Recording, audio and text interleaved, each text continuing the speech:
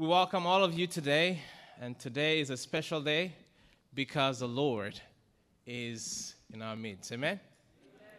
Expecting the promised King. How many of you are expecting the promised King? Amen.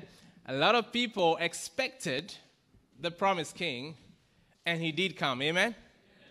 But now we are expecting our Lord and Savior, Jesus Christ, and he promised to come back. Amen. Earlier this month, in um, USA Today, there, I read an article that really caught my attention. And the title of the article says Teacher who told kids Santa isn't real removed from New Jersey School District. And that really caught my attention. I said, What's going on? And I read the story. In to summarize the story, this teacher is a substitute teacher decided in her first grade class to tell her student, I don't know how the story went, if the student asked about um, Santa or this or that, about Christmas, and she decided to break the news, to break the truth to the kids. First grade student. And you know, first grade students, all their imagination, all their excitement about Christmas, you know, period or season is about Santa and the gift they receive. And so she said, I'm sorry to tell you, Santa is not real. Um, and um, the reindeers don't fly. she went on and she said that all the presents that you receive are not from Santa, they are from your parents. What do you think happened?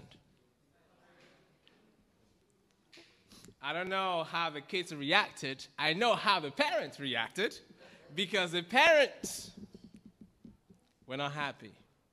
And when the, the, the, the principal, the, the, the, the, you know, the president of the school heard about it, you know what happened? She got fired. Not only from the school, but the district. And one teacher, one, um, one um, it says, the principal, the superintendent, he said he apologized to all the parents. And he says, she's no longer working in the school district. And I asked myself, could we believe that? She got fired for telling the truth. It's, it's just the truth. But sometimes telling the truth causes you pain and even your job. Why? Because society has already accepted that white lie, if you can call it. I don't know. But one of the you know mothers, she says this that really got me thinking. She says, I'm trying to find it. She says, the teacher was trying to ruin the holiday season spirit for the student by telling them that Santa isn't real and the parents just buy presents and put them under their tree. And so the question was what is the holiday spirit was this parent talking about? The last time I checked, friends, Christians claim to celebrate the birth of Jesus. What's the truth about the celebration? Because if it's Christmas, it's about Jesus, right? And so if somebody says Santa is not real, why should we um, blame the, the, the, the, the, teacher and even fire the person? And I was thinking, if one of you was a parent, would you defend this teacher? If one of you was a co worker, would you go and stand for that teacher? Or you'd be like, that was stupid. You shouldn't have said that. And you can, we, can, we can debate. Maybe it wasn't her place to break that news to them. But the truth is the truth. Whether we accept it or not is just the truth. And sometimes in this life, especially in this society, you have to think twice before you decide to tell the truth as it is to people. And that's why a lot of us find it very difficult to stand for Christ. Many of my friends say that Jesus is the reason for this season. Am I right? And others say they would like to bring Jesus back into the Christmas season. And I ask the question if that is the case, if you want to bring Christ back to this season, how is that possible when Jesus was not really the reason why the season or the celebration began? How can you bring somebody back into something when he was not there when he began? I wish the message was about the origin of Christmas or how the devil gets worship during this season, this season. But I was reminded, you know, this is not the time for us to be spending so much time talking about how the devil receives worship in this season. I was reminded it is God's Sabbath it is his day, so I should lift him up. Amen. And so I'm not going to talk about the origin of Christmas today. You can do that by yourself. And um, I suggest that you do it because it's very enlightening to know how it all began. But since a lot of you have come to church today to listen about Jesus Christ, let's talk about him, shall we? Amen. Let's pray. Heavenly Father, we here in your house because we believe that you have created the world, you have created us, and you reminded us that on the seventh day we should keep it holy and come and worship you. We are here to listen to you. Speak to us, for our hearts are open, our minds are open, and we pray that whatever the devil is doing to distract us, to take away what you have for us today, please keep us from it and help us, Father, to receive your message understand it, and also allow it to bear fruit in our lives. We ask in Jesus' name. Amen.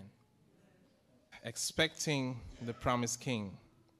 Friends, I will be a fool to assume that many of us, or many of you, aren't thinking about the birth of Jesus Christ in this season. I'll be a fool to believe that. Whether you like it or not, whether you celebrate it or not, society is forcing us to get on board. Amen?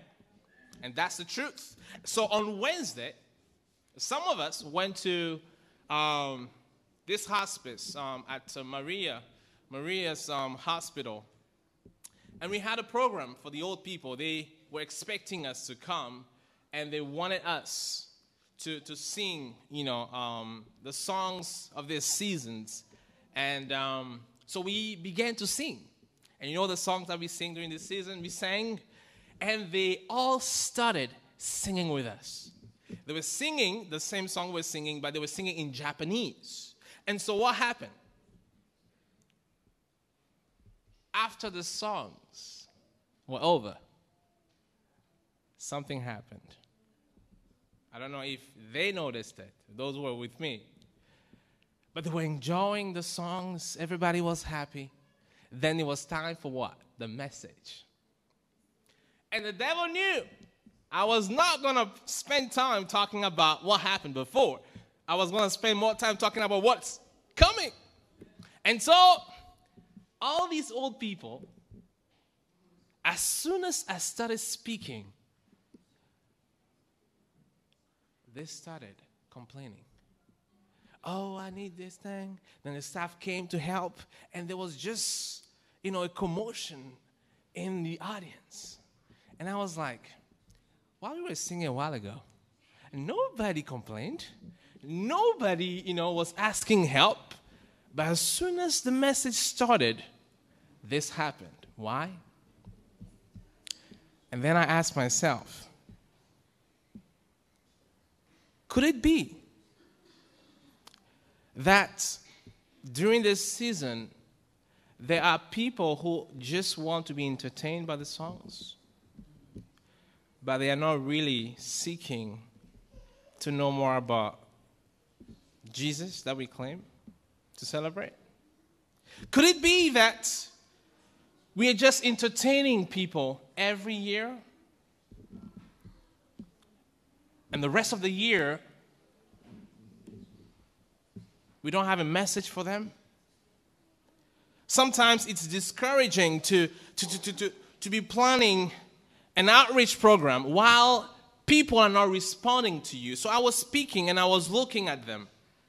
Some were listening, but majority was not. And what really struck me right after the message, there was another program for them. And these people went back to their happy faces, and the celebration went on. And then I said, Did we really achieve what we came for?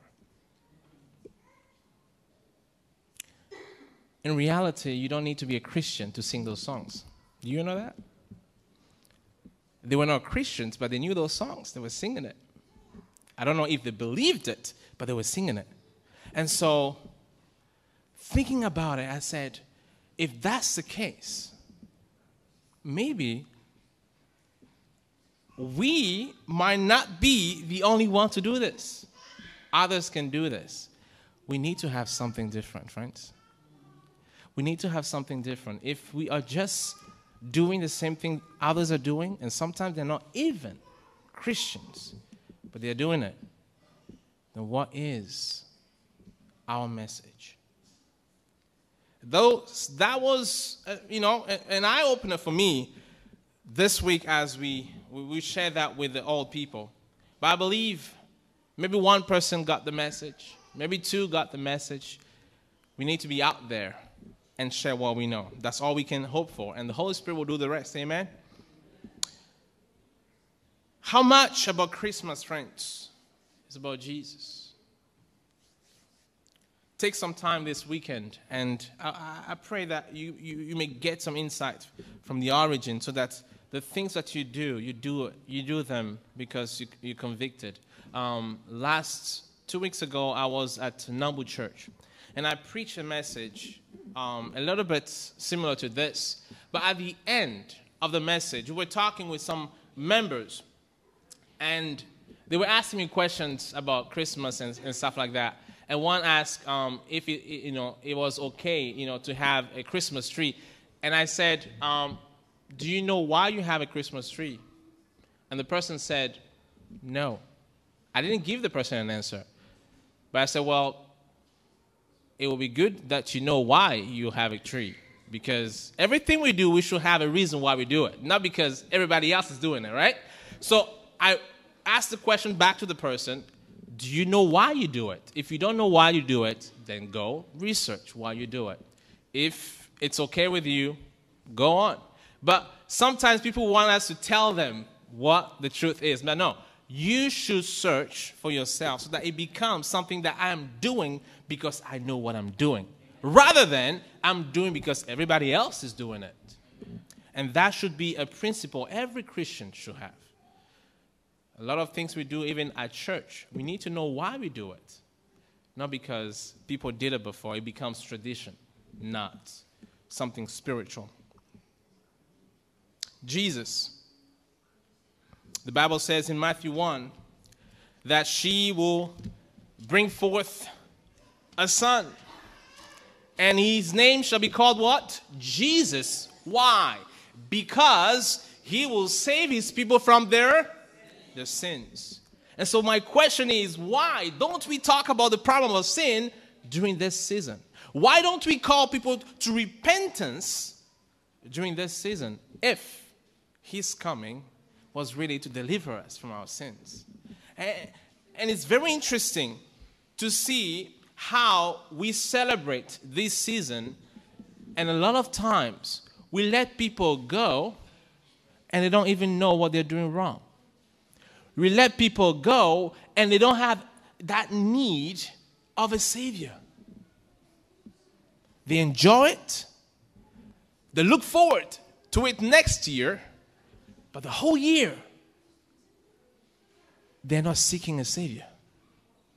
And that is, that is something we need to do to call them out and, and open their eyes to see that the problem of sin is not a yearly event, it is a daily, moment by moment event. And Christ is not just waiting to come in once a year to deal with your problem of sin, He's doing that right now, every day, every second.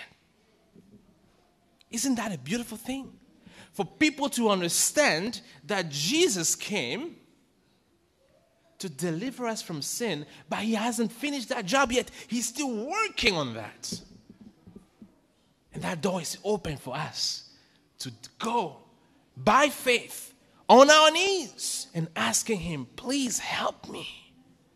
Help me overcome sin in my life. That's the reason why He came. In the Gospels, the Bible tells us that when Jesus was, was born, his birth was revealed to two different groups. You know the story. How many groups? Two. Can you tell me who are they? The first group, the shepherds. They were Jews. The second group, wise men from the east, heathens.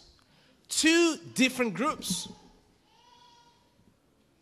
The good thing about the story is that everyone everyone knows it.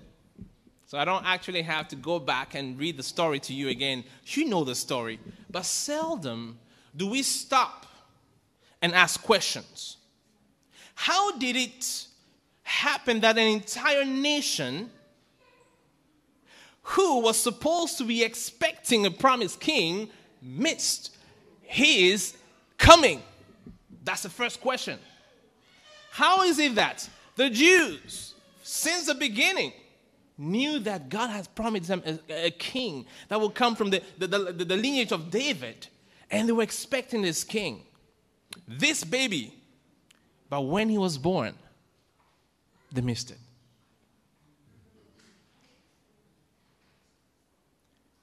Why did they miss it?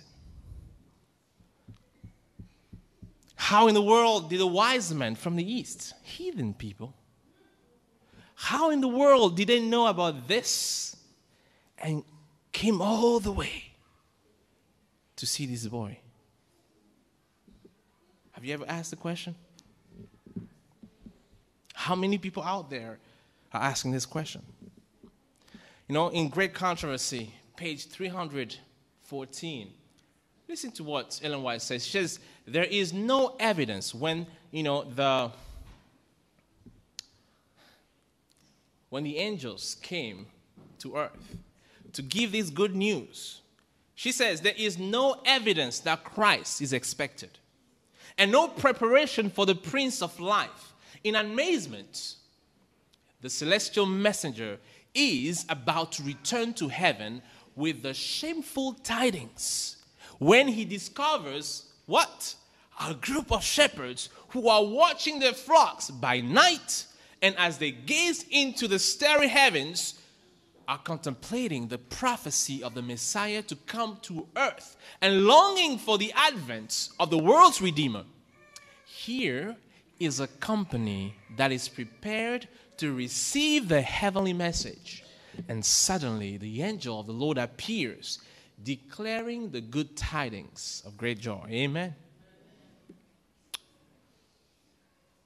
That angel was about to go back to heaven and say, I'm sorry, Lord, there's no one, no one in Bethlehem that is expecting the birth of our Savior. But there was a group of shepherds. They were thinking, they were talking, they were meditating about the prophecy they found where? In the book of Isaiah, Isaiah chapter 9. 6 and 7, go to, go to the book of Isaiah. Let's go there and read it for ourselves. Isaiah chapter 9. Isaiah chapter 9, 6 to 7. Are you there? Giving you another 10 seconds. Come on, find it. Isaiah chapter 9, 6 and 7. The Bible says, For unto us a child is what? Is born. Unto us a son is given. The government will be upon his shoulder, and his name will be called Wonderful. Prince of Peace. Of the increase of his government and peace, there will be no end upon the throne of David and over his kingdom to order it and establish it with judgment and justice. From that time forward, even forever, the zeal of the Lord of hosts will perform what? This. His name indeed shall be called Wonderful Counselor, Mighty God. And so they were thinking and, and talking about this, this, this king that was to be born, this wonderful and counselor and mighty God, everlasting Father.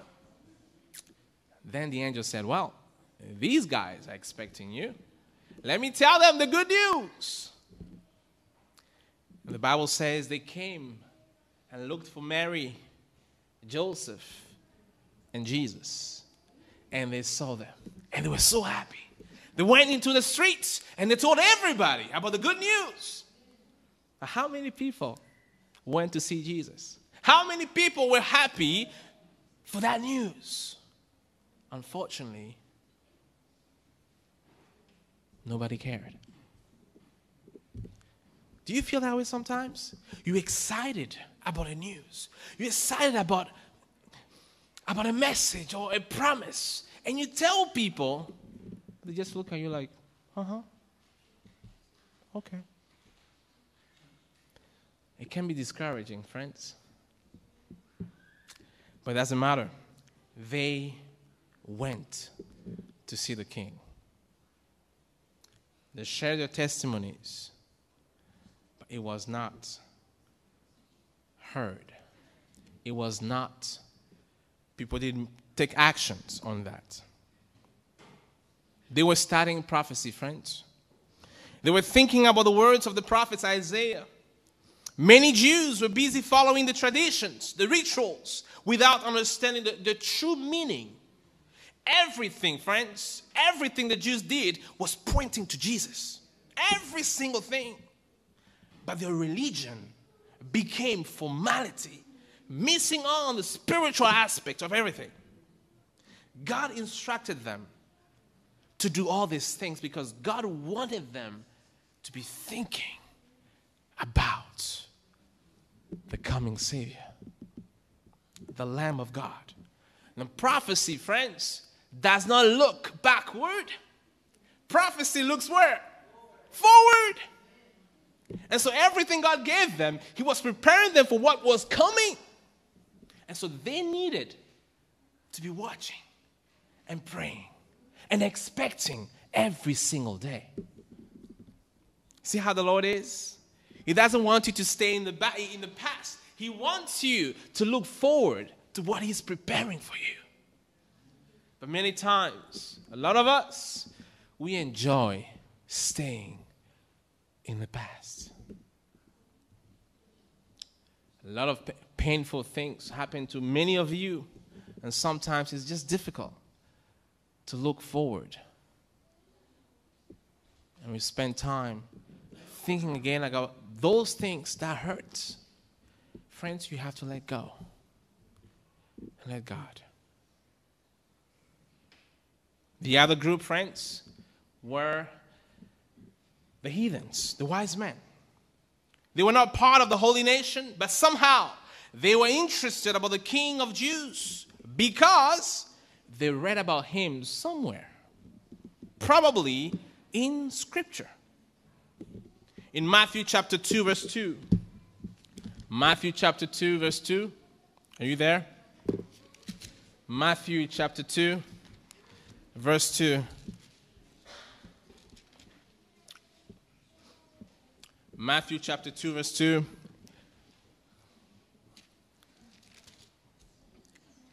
The Bible says, the wise men came from the east to Jerusalem and they were asking a question.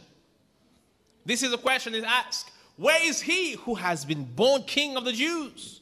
For we have seen his star in the east and have come to do what? To worship him. Pretty interesting. The Jews themselves had no clue that this was happening. People from the east were studying prophecy. And they said, We have seen a star in the east. How did they know? Let's go to the book of Numbers. Numbers 24, verse 17. Friends, nothing that happens happens without God revealing. Everything about the, the, the, the, the first advent of Christ has been predicted. So it's not new. So if they were in the books, if they were in scripture, they would have known.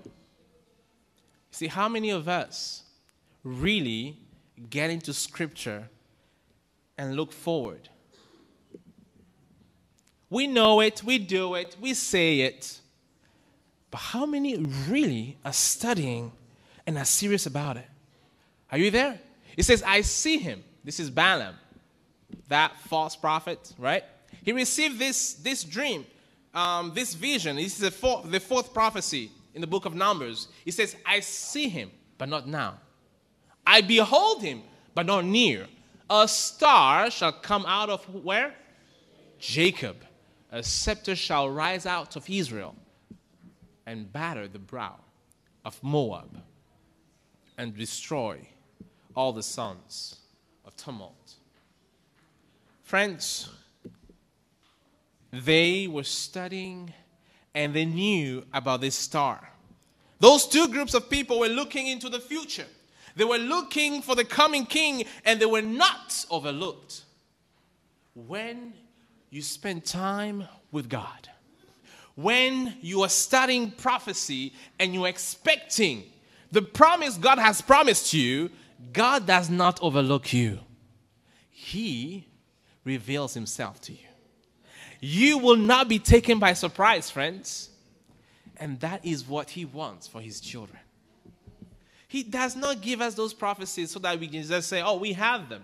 No, He wants us to understand them. He wants us to study them. He wants us to be ready when He comes.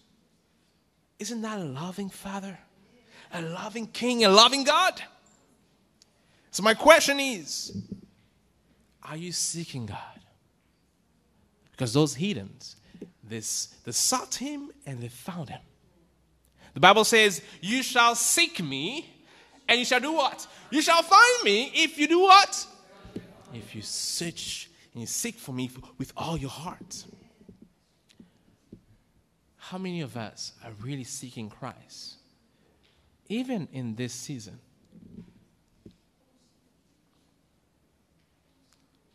Sometimes it's from one party to another, then to another, then to another. And a lot of times, Jesus is not in those parties.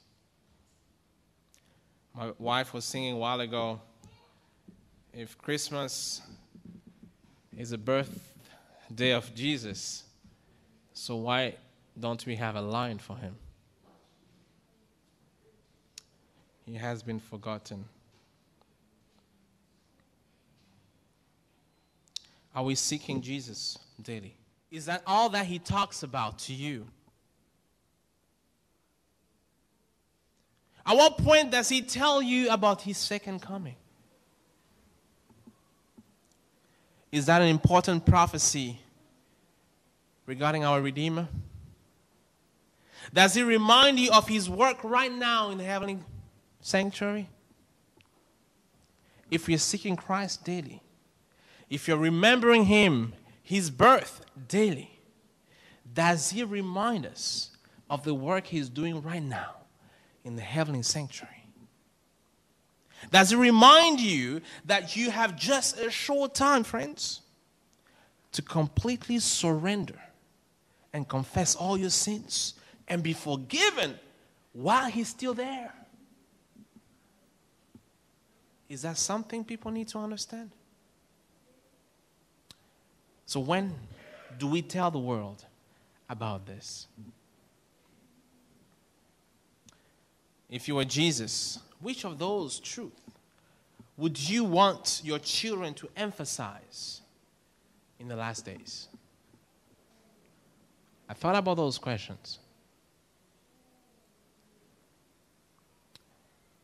And I wish Adventists had a day to remember and preach what Christ is doing now and his second coming. We don't, do we?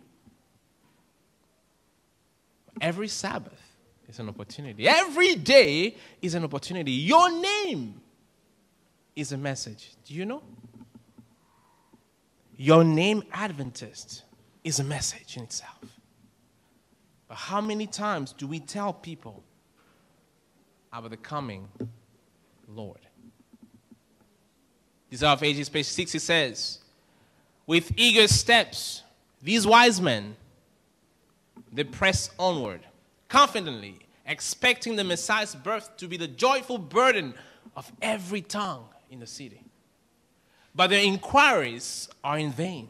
Entering the holy city, they repair to the temple. They, to their amazement, they find none who seem to have a knowledge of the new-born king. Their questions call forth no expressions of joy, but rather of surprise and fear, not unmingled with contempt. I'll end by saying this. After the long journey, they had been disappointed by the indifference of the Jewish leaders and had left Jerusalem less confident than when they entered the city. Imagine people coming from outside into our church, the people of the book, the people that who started this movement, studying prophecy. And when they come, Nobody's interested about prophecy. And nobody is talking about Jesus is coming soon. And nobody is telling people that probation is closing. Will they also feel the same way? Disappointed? Sometimes that's how we portray our message. The promise has been given. The Lord is keeping his promises, but his children are not looking forward to those promises. As we close, friends, 2,000 years ago, when Jesus was born, the whole world almost missed it. God's people almost missed it. If you see the ratio, it's, it's not significant because only a group of shepherds and heathens. And so I'm asking myself today, 2,000 years later, What does the devil gain in remembering Christ every year? If 2,000 years ago he did not want anyone to expect him, what does he gain today? For everyone remembering Jesus' birth. And I thought about it, I said, he must have something he's gaining in this. Yes, a lot of people do not celebrate Christmas as Christians do. Christmas, for many people, is something different. But for Christians, many of us, right? We celebrate. They celebrate the birth of Christ. But Satan is getting something out of it? Do you know what he's getting? While majority is looking backward once a year, friends, something is happening right now and it's about to happen. The devil is happy by keeping us looking backward while probation is closing. And every year, we can't help but think backward. And somebody said, Imagine you driving a car, moving into a direction, and every time we're just looking in that rearview mirror. There's nothing wrong looking back. But if your whole attention is in that rearview mirror, what's going to happen, friends? You're going to crash. You need to look forward, look backward to check if where you're going is where you're supposed to go. Because prophecy that was accomplished helps us to be confident in what is coming. Because because it happened and it was fulfilled, we know for sure that what is coming will also be fulfilled. Amen. This is not the first time tradition has overtaken Christ's present truth. And I will give you this last illustration. It's a true story. Jesus Christ, before he, he passed away, before he was put to the cross, the whole nation was celebrating which feast? The Passover. And he said to his disciples, Prepare the Passover. But while the Passover was going on, when all the Jews were looking backward to what God has done in Egypt. Jesus was telling his disciples, I am about to die for you. I am that Passover lamb.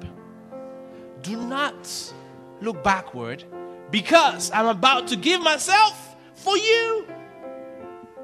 He was among them, he was there with them. But no, they were busy looking backward to a lamb that they used. But the lamb was among them and they missed him. And Jesus said, Do this in remembrance of me. Every time you drink of this juice and you eat of this bread, you remember me until we do what? We eat together where? Friends, is he telling them to look forward to something, yes or no? Does that make sense to you? Jesus is doing the same thing today.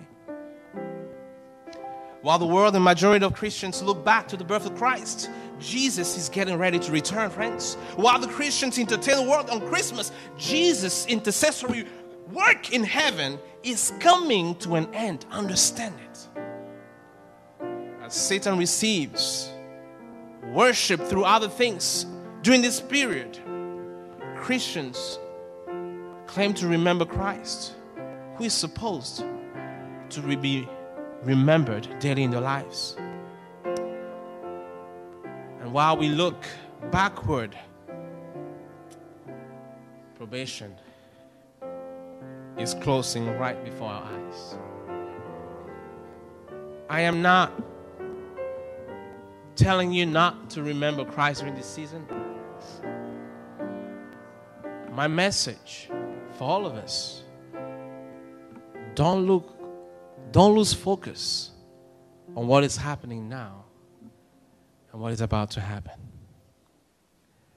Jesus loves us so much that he wants us to get it the second time. Amen.